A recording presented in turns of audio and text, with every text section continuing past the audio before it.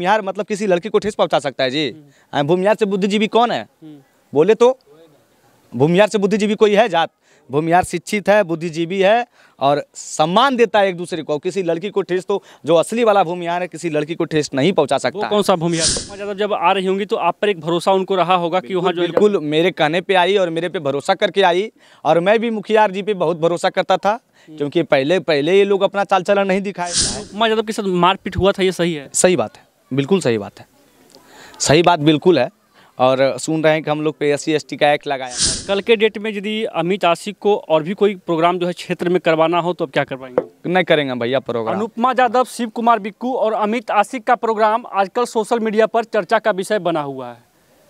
आप सभी को पता होगा कि नवादा जिला के नारू मुरार में प्रोग्राम होता है जिसमें बवाल हो जाता है और मामला यहाँ तक पहुँच जाता है कि एफ़ में जो है तब्दील हो जाता है। अभी हमारे साथ बातचीत करने के लिए अमित आशिक जी हैं। पूरा मामला जो है इनसे जानने का प्रयास करते हैं। कैसे कैसे क्या हुआ था जी? पहले आपके न्यूज़ के माध्यम से जितने भी लोग देख रहे हैं सभी को बहुत बहुत धन्यवाद। जी। ये मामला देखिए बोलते हैं कि हम इसी क्षेत्र से हैं बार्सलीगंज क्षेत्र से। सब कोई जानता है और अ, मुझे कॉल जाता है एक एक बगल के गाँव है मेरे बगल के गाँव है सुमित नाम का एक लड़का है जो वहाँ की जो नारो मुरार के मुखिया है उनका साथी है तो उस, उसी उसी के पास से कॉल जाता है। कि जो भाई जो मुखिया जी बात करेंगे कुटरी पंचायत के तो हम उनको उस समय नहीं जानते थे क्योंकि कुटरी पंचायत का मुखिया हम अंजनी दा को जानते थे। जी जी। अंजनी सिंह है वही वहाँ से बहुत दिन से मुखिया है। तो हम उनको जानते थे क्योंकि हम लोग इधर गाँव तरफ़ बहुत कम रहते हैं अपना अपना लाइन में उधर रहते हैं। तब कॉल जाता है तो फिर जान परिचय होता है बहुत अच्छे से बात करते हैं। और वो बोलते हैं कि मुझे प्रोग्राम करवाना है आपका और अनुपमा यादव जी का और शिव कुमार बिक्कू का। तो वो बोलते हैं कि हम आपसे मिलना चाहते हैं। बोले ठीक है पटना में रहते हैं भैया आ जाइए। तो वो पटना मेरे फ्लैट पे आते हैं। और जो भी मेरे से बनता है उन लोग भाई लोग का मतलब कि मैं बहुत खुश होता हूँ कि मेरे गाँव से लोग आए हैं। ऐसा लगता है कि अगर हमारे क्षेत्र से लोग हमसे पटना मिलने जाते हैं तो लगता है कि यार चलो आज इस काबिल हूँ मैं कि लोग मिलने आते हैं और हमारे गाँव से लोग हैं। और जो भी होता है मेरे से खाना पीना सबको अच्छा से करवाते हैं और मेरे उसी अपार्टमेंट में मेरे ऊपर में शिव कुमार बिक्कू जी रहते हैं। उनको बुला के बातचीत करवा देते हैं और अनुपमा यादव को कॉल के माध्यम से हम बात करवा देते हैं और एक लाख चालीस हज़ार में उनका और, और बिक्कू भैया का इकहत्तर हज़ार में और उसके बाद बात रहा मेरा तो एक दिन मुझे कॉल आता है कि जो आपका पेमेंट डालना है। तो हम बोलते हैं भैया मेरे तो बात नहीं हुआ कितना डालेगा नहीं डालिएगा तो हम एक लाख बीस हज़ार का मांग करते हैं लेकिन नवादा में रहते हैं अंशुमान शर्मा अनु भैया यहीं बलियारी गाँव के हैं बाटलीगंज। उनके द्वारा मेरे पास कॉल आता है मुखिया जी का पैर भी उनके पास जाता है कि थोड़ा अमित से पैसा कम करवा दीजिए। तो इकहत्तर में मेरा बात होता है जो बोलते हैं भैया बोलते हैं कि इकहत्तर हज़ार दे देगा तो हम बोलते हैं ठीक है भैया। फिर मुझे प्रोग्राम के दिन कॉल किया जाता है कि आप तो घर घर के हैं गाँव के हैं थोड़ा सवेरे आ जाइए। हम आठ बजे चले जाते हैं। साढ़े नौ बजे से प्रोग्राम स्टार्ट होता है। भीमलाल यादव नाम का एक लड़का ये गाना गाता है। उसके बाद हम गाते हैं। दस बजे के दस बजे अनुपमा यादव स्टेज पर कब दस बजे आ गई थी। दस बजे अनुपमा यादव आ गई वहाँ के मुखिया जी का भी जो हम इंटरव्यू लिए हैं उनका कहना है कि अनुपमा जी लगभग ग्यारह बजे आती हैं और लगभग बारह बजे तक जो है ये करती हैं। एक से डेढ़ गाना गाती हैं। उसके बाद उनका लव स्टोरी जो है शुरू हो जाता है। वो सुबह तीन पैंतालीस में जा रही थी। सुबह तीन तैंतालीस पैंतालीस में वो जा रही थी। और पहले हम गाते हैं फिर बिक्कू जी गाते हैं फिर अनुपमा यादव जी गाते हैं। उसके बाद लोगों का लोगों का कहना है कि अनुपमा यादव और शिव कुमार बिक्कू का दुईट हो। लोगों का दुईट होता है। समझ गए? दोनों का दुईट होता है। और उसके बाद फिर हम बीच में दो तीन गाना गाते हैं और फिर दोनों का दुईट होता है। टाइम बच जा टाइम हो जाता है तीन तैंतालीस। उसके बाद अनुपमा यादव जा रही थी। लगभग समय तो हो ही गया समय हो गया था। अनुपमा यादव को बहुत दूर जाना था। तीन बजे तक हम लोग प्रोग्राम ही करते हैं कलाकार लोग। तीन बजे के बाद एक घंटा रिकॉर्डिंग डांस चलता है। जी जी। उसके बाद प्रोग्राम्स का समापन होता है। जी। तो तीन तैतालीस में अनुपमा यादव जा रही थी। उसके बाद जो भी हुआ है जो हुआ है। समझ गए ना? हम और बिकू भी स्टेज पे थे। अनुपमा यादव नीचे गई गाड़ी के पास गई और मुखिया जी के द्वारा लोगों को उस्काया जाता है और भीड़ को इकट्ठा करके अनुपमा यादव के साथ अभद्रता किया जाता है। ये जो बजा शुरू हुआ कैसे कैसे क्या हुआ? वजह कोई शुरू नहीं हुआ कि क्यों जा रही हो? क्यों जा रही हाँ? सुबह तक प्रोग्राम करो। ये तो दबंगई हो गया। पैसा लियो। अरे भैया पैसा आप दिए हैं तो आप किसी को जान मार दीजिएगा। पैसा आप ही नहीं दिए हैं। पैसा तो हम लोग हर एक कला हर एक जगह जहाँ जाते हैं प्रोग्राम करने के लिए पैसा पे ही जाते हैं। बिल्कुल। पैसा ही लेते हैं क्योंकि हम लोगों का जो भी है दो रुपया चार रुपया इसी से आता है। जी। क्या? आप आप भी मुखिया जी कुछ ना कुछ काम करते होंगे। हम्म, हम्म, आप भी आप भी कहीं ना कहीं ठिक्का करवाते होंगे। आप आप भी कहीं गाँव में ठिक्का करवाते होंगे तो आपसे बोलेगा कि खेत बेच के कर दो घर बेच के कर दो तो कोई कर देगा। आए? बताइए। जी अनुपमा यादव जो है एक लड़की हैं और यदि वो आरोप लगा रही हैं कि हम जो है भूमिहार समाज के गाँव में गए थे और भूमिहार पर कहीं ना कहीं जातिवाद जो उनका टिप्पणी भी आया कि भूमिहार ऐसा भी होते हैं। नहीं अनुपमा यादव का कहना ये नहीं है। अनुपमा यादव का कहना है कि हमको जब मेरे साथ अभद्रता हो रहा था तो बोला गया कि हम भूमिहार हैं। और हम भूमिहार के गाँव पहले बहुत सारे गाँव गए हैं जो मुझे बहुत इज़्ज़त मिला है सम्मान मिला है। लेकिन ये गाँव अगर टोकरी में सौ आम रहता है एक आम सड़ा हुआ है तो सारा आम को सड़ा हुआ नहीं कह सकते हम। हम भी भूमिहार से आते हैं। अगर वो लोग जातिवाद करता तो हम लोग हम लोग हम लोग को गाड़ी क्यों रोका? बिकू को क्यों पीटा? बिकू भूमिहार नहीं है, हम भूमिहार नहीं है। वो लोग किसी समाज का नहीं है। जो खराब होता है वो किसी समाज का नहीं होता है। जो दबंगई दिखाता है वो किसी समाज का नहीं होता है। वो सिर्फ़ जात को यूज़ करता है। और जात को बदनाम कर रहा है भूमिहार को। भूमिहार मतलब किसी लड़की को ठेस पहुँचा सकता है, जी। भूमिहार से बुद्धिजीवी कौन है? बोले तो भूमिहार से बुद्धिजीवी कोई है जात? भूमिहार शिक्षित है बुद्धिजीवी है और सम्मान देता है एक दूसरे को। किसी लड़की को ठेस तो जो असली वाला भूमिहार है किसी लड़की को ठेस नहीं पहुँचा सकता। है। कौन सा भूमिहार थे जो ऐसा काज हैं? पता नहीं कौन सा भूमिहार होगा मुझे तो पता नहीं है। हम्म, भूमिहार का गाँव बासलीगंज क्षेत्र में जो एक दूगो है हम्म, सैकड़ा सैकड़ों गाँव भूमिहार का है। हर एक गाँव में प्रकार प्रोग्राम होता है। मेरे गाँव में तो दीपावली में तीन दिन लगातार प्रोग्राम होता है। आज तक किसी कलाकार के साथ अभद्रता नहीं किया गया है। हम लोग भी तो भूमिहारे का गाँव तो सब दिन प्रोग्राम करने के लिए जाते हैं। हम भूमिहार नहीं है जी हम भी तो इस क्षेत्र में गायकी क्षेत्र में इतना दिन से काम कार्य कर रहे हैं लेकिन किसी आज आज तक न्यूज़ में सुने हैं मेरे बारे में कभी अभद्रता जी जी। अच्छा ये अमित आशी को देखा जाए तो कहीं ना कहीं आपके क्षेत्र में जो है ये प्रोग्राम हुआ था और कहीं ना कहीं अनुपमा यादव जब आ रही होंगी तो आप पर एक भरोसा उनको रहा होगा कि वहाँ जो बिल्कुल मेरे कहने पे आई और मेरे पे भरोसा करके आई और मैं भी मुखियार जी पे बहुत भरोसा करता था क्योंकि पहले पहले ये लोग अपना चाल चलन नहीं दिखाए थे। पहले बहुत अच्छे से थे और मैं इन लोगों पे बहुत भरोसा करता था और अपना गाँव मान के आठ बजे हम कहीं भी प्रोग्राम करने जाते दस बजे से पहले थोड़ी ना जाएँगे। आठ बजे गए थे पर अपना गाँव मान के और हम लोग जहाँ भी प्रोग्राम करते हैं एंट्री करके चल आते हैं खास करके हम। हम जो मेरा रहता है कि भैया एक बार हम चढ़ेंगे स्टेज पर जो भी गाना गा के चले आएँगे। क्योंकि हम लोग एल्बम के कलाकार हैं। प्रोग्राम से हम लोग को पैसा नहीं आता उतना पैसा हम कितना साल में दस को प्रोग्राम करेंगे। दस प्रोग्राम में क्या होगा हमको? दस प्रोग्राम में ज़्यादा से ज़्यादा दस लाख रुपया आएगा। दस लाख रुपया में हमारा क्या है? गाड़ी का ई भी जाएगा। हैं? तीन तीन चार चार को गाड़ी है। गाड़ी का ई भी जाएगा। कैसे देखते हैं इस घटना को कमाते हैं लेकिन अब अब प्रोग्राम तो रोज फ़ोन आते रहता है। लेकिन हम लोग प्रोग्राम वही करते हैं जैसे अब नारो मुराद क्षेत्र था मेरा मुझे लगा मेरा घर है। वहाँ हम आए। हम्म, अब मुझे कहेगा कि जाके प्रोग्राम कर दो उधर उधर तो हम नहीं करते पर इसी यही सब के वजह से। कि कौन देखिए नशा में लोग किसी को कोई नहीं चिंता है। नशा में जो लोग होता है। अनुपमा यादव के साथ मारपीट हुआ था ये सही है? सही बात है बिल्कुल सही बात है। सही बात बिल्कुल है और सुन रहे हैं कि हम लोग पे एस सी का एक्ट लगाया गया है।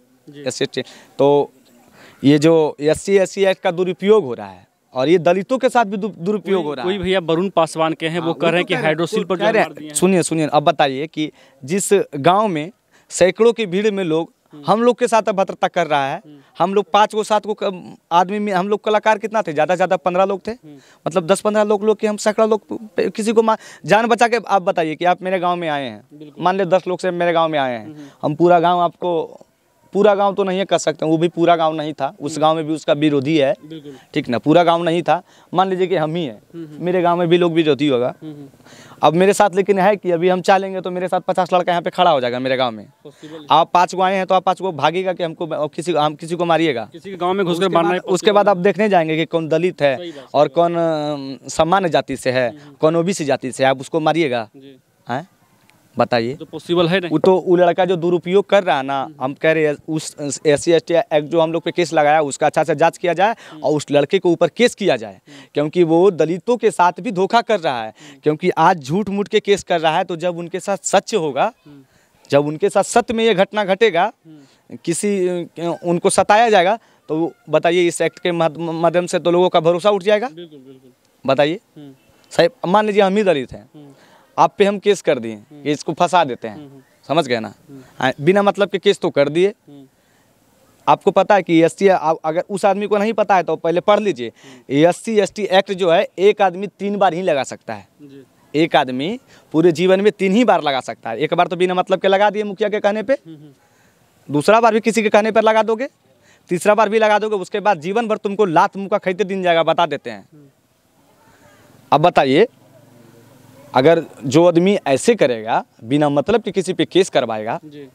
समझ जाइए कि कितना नीच हो सकता है। इसलिए किया गया कि अनुपमा यादव के साथ अभद्रता किया गया और अनुपमा यादव केस कर दी तो अनुपमा यादव के केस को मैनेज करने के लिए अनुपमा यादव पे केस किया जाता है S C S C S T Anupama Yadav और शिव कुमार बिक्कू पे। और मेरे पे इसलिए किया जाता है क्योंकि हम उनके साथ खड़ा रह के केस करवाए हैं। अरे भैया मेरे कहने पर आई थी मेरे क्षेत्र में आई थी और वो लड़की के साथ अभरता हुआ मैं खड़ा ना रहूँ? जी।